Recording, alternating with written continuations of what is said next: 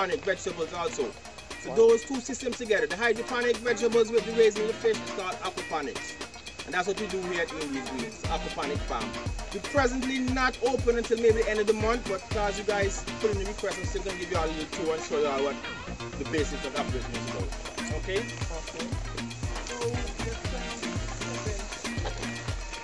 one of the problems we have when you're raising fish, okay, is that when you raise fish, the water that you raise the fish in tends to get dirty because the fish live in there, they urinate in there, the feces in there. So anytime you raise the fish, you don't need that clean water all the while to give you that good fish quality. In Antigua, one of the problems we have in Antigua is lack of water really. We have no real rivers, no real streams. Well, until maybe a couple days ago. So one of the problems we have is lack of water, lack of this fresh water to use. So we do a recycle system. All the water we use here is recycled. This water we see we using, we using for the past two years since we started.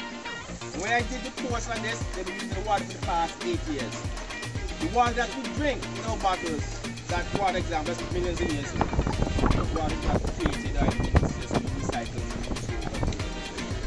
So what we're doing here, we're just mimicking the nature cycle what nature does naturally. Let's go down by the vegetable like.